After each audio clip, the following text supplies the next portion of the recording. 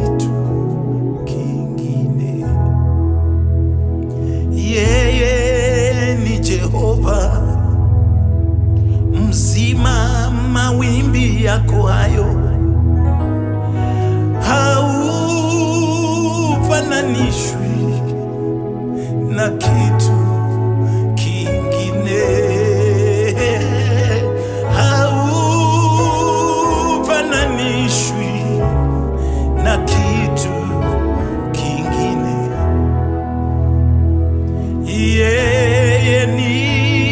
Bwana mtuliza magonjwa yote,